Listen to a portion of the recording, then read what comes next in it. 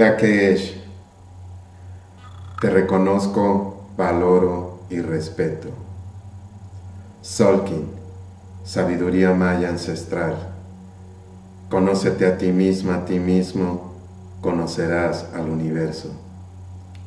Miércoles 22 de agosto del 2018. Tenemos el día de el guerrero magnético. Jun Si el Kin 196 de los 260 Kines o días del Sol Kin. Hoy comenzamos una nueva onda encantada, una nueva trecena maya. El propósito lo marca, sí, el guerrero. El guerrero, sí, es el sello maya número 16. Estos 13 días, sí, nos invita a trascender el ego, a cuestionar con inteligencia, a ser valientes, a enfrentar nuestros miedos, a ser más pacientes. El guerrero sabe que la mayor batalla que va a enfrentar en esta encarnación no es afuera, es adentro, es con nosotros mismos, es trascender el ego. La mayoría de las personas en la tierra somos egos caminando. La mente crea una personalidad con la cual se identifica, una vida propia, un ego. Sentimos que el valor de las personas, nuestro valor, depende de las posesiones, de los títulos, del dinero, solamente son papeles. Un guerrero no se identifica con las formas porque sabe que se limita. El guerrero cuestiona. Estos 13 días es muy recomendable cuestionar la información que recibimos. No me crean, no le crean a nadie, creen su propia experiencia. Esta información es apoyo. Los mayas son los, una de las culturas más enigmáticas desaparecieron, no se sabe qué pasó. Son los maestros del tiempo y se dieron cuenta que el sol, Kinichahao,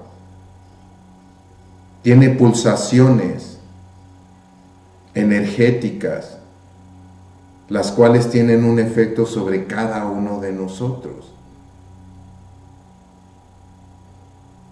Ser valientes estos 13 días la valentía no es carecer de miedo.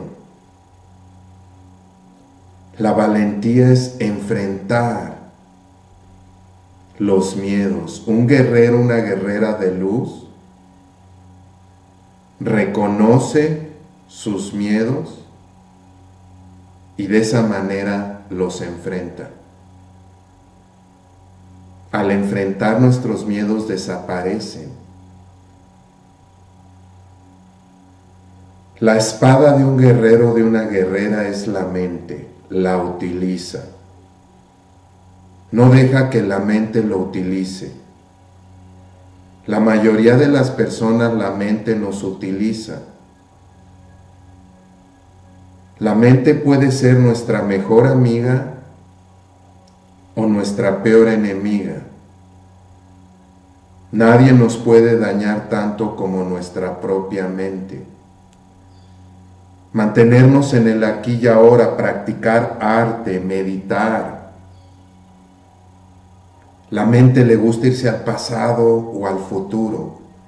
Pensar con exceso en el pasado es igual a depresión porque el ego compara. El ego siempre anda viendo lo malo, porque porque esta mala situación, lo negativo, entonces compara y si no nos sentimos que estamos tan bien como estábamos en el pasado, vamos a tener conflicto. Si estamos pensando en el futuro constantemente, va a haber estrés, preocupación, porque la mente se imagina una infinidad de posibilidades, mantenernos en el momento presente, cuestionar, evitar ser tan aguerridos, estos 13 días puede ser fácil, ¿verdad? El molestarse. Es una energía impaciente y hasta en sombra, hasta en luz es aguerrida. Las personas con este sello son personas intrépidas, son valientes, son buenas en todo lo que hacen, son autodisciplinadas pueden ser en sombra desesperadas, impacientes. Trascender el ego, la mayor batalla que vamos a enfrentar no es afuera, es con nosotros mismos, somos egos. Por eso la gente, ¿verdad? Cuando usamos ropa de marca y todo, ¿verdad? Que nos vean, son papeles. Lo único que nos vamos a llevar de esta experiencia es el nivel de conciencia es lo único. No nos llevamos lo material. Bueno fuera, ¿verdad? Para las personas que se apegan mucho a lo material porque dices, bueno, para la otra encarnación me va a servir. No, te llevas nada, solamente el nivel de conciencia, las acciones realmente. Para eso estamos aquí, para demostrar en el plano espiritual sabemos cuál es el camino, pero otra cosa es caminarlo, por eso encarnamos. Nacemos con el nivel de conciencia que alcanzamos en la encarnación anterior. Y tenemos esta experiencia física para elevar el nivel de conciencia y dependiendo la transición que hagamos cuando transitemos el portal de la muerte, que todos lo vamos a hacer, va a ser cómo transitamos y al nivel espiritual que vamos a llegar. Por eso evitar perdernos, por eso el guerrero sabe que la mayor batalla no es afuera, es adentro, es trascender el ego. Un guerrero no se identifica con las formas, con los papeles, porque se limita. Ha llegado el momento de cuestionar. No me crean, no le crean a nadie, creen su propia experiencia. Un guerrero camina, toma lo que le sirve y lo que no le suelta. Una palabra, una frase que te resuene, tiene el potencial de mejorar tu vida. Somos almas compañeras de camino y hubo un llamado mítico que acordamos ayudarnos a recordar y estas informaciones para ayudarnos a recordar. Ser valientes, trascender el ego. El ego no es malo, no hay que eliminarlo, es simplemente trascenderlo. Tiene su función la mente también, manejarla, no dejar que nos maneje. Que la mayoría de las personas, la mente nos maneja ese, esa personalidad que crea, ¿verdad? Ese ego. Nadie nos puede dañar tanto como nuestra propia mente. A donde vayas te va a seguir. Por eso mantener esa paz. El tono 1 nos marca un propósito y bueno, hay 20 ondas encantadas, 20 por 13, 260 en un Solkin. Cada onda encantada nos marca un propósito, pero cada encarnación tenemos varios propósitos. ¿Cuál es tu propósito? Uno, tu misión es tu pasión, es hacer lo que amas realmente. Lo más valioso que tenemos es el tiempo, más valioso que el dinero, porque el dinero lo recuperas, el tiempo no. Si no estás haciendo lo que amas, comienza a hacerlo poco a poco comienza a dedicarle realmente tiempo y luego puedes hacer el salto. Mucha gente no hace lo que ama porque sientes que si hago lo que amo no voy a generar el dinero suficiente para, para pagar lo que tengo que pagar, etc. El gran espíritu, si realmente haces lo que amas, nada te va a faltar. pero comienza a hacerlo porque la mayoría tiene trabajos, yo tuve trabajos por un tiempo, y lo haces porque yo lo hacía porque me pagaba, no porque lo amara, la verdad. No amaba a mi jefe que me trataba mal o la cantidad que me pagaban, lo haces por el dinero. Y mucha gente se pasa eh, una eternidad en un trabajo que no ama. Ocho horas dormido, ocho horas en un trabajo que no amas, tienes ocho horas para ser feliz. Por eso que para estar en paz y armonía, tener felicidad, es muy importante hacer lo que amas. Ese es un propósito. Segundo propósito, conócete a ti mismo, integrar tu dualidad. Conocer tu luz y tus sombras. Todos poseemos sombras, todos. Es importante que esas sombras las reconozcamos, encierran el mayor potencial de luz. Y si no las reconocemos, no las podemos integrar y controlan nuestras vidas, nos hacen reaccionar en vez de responder. La mayoría reaccionamos inconscientemente en vez de responder conscientemente. Tu misión es tu pasión, integra tu dualidad. Comienza a ser realmente lo que amas. En verdad, nada te va a faltar, confía.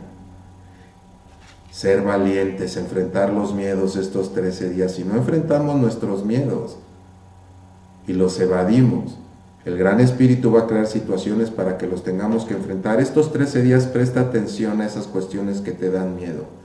Cuestiona la información porque la mayoría creemos lo que dicen los medios y los medios están más torcidos que, que lo que te puedes imaginar. Pues crea tu propia experiencia y hay suficiente información para que tú disiernas y realmente tomes decisiones más inteligentes. Si te interesa conocer más acerca de ti, de tu dualidad, tus dones, desafíos, propósitos, tendencias, tu carta natal maya de autoconocimiento con enfoque terapéutico es una herramienta maravillosa. Archivo PDF y video. También si te interesa mejorar una relación de pareja, cuando dos quines o más se juntan, son expresiones de las cualidades matemáticas del tiempo, se forma una tercera, conocerla te ayuda. La mayoría de las personas creen que las relaciones se dan porque te enamoras y, ya vives junto y, y eres como la cenicienta, ¿verdad? No, y vives feliz, no es así. Se trabajan, no se dan, se trabajan conscientemente. Si te interesa, visita factormaya.com y también ofrezco un curso en video, en PDF, en PowerPoint, con mucha información, aparte asesoría vía email. Si te gustaría conocer más y poder explicar esto, adelante. Visita factormaya.com, hay enlaces con toda la información. Los reconozco, valoro y respeto, gratitud infinita por su atención, luz, paz, amor y sobre todo entendimiento en el camino. In la Kesh. Ayun Eva Maya, Emaho,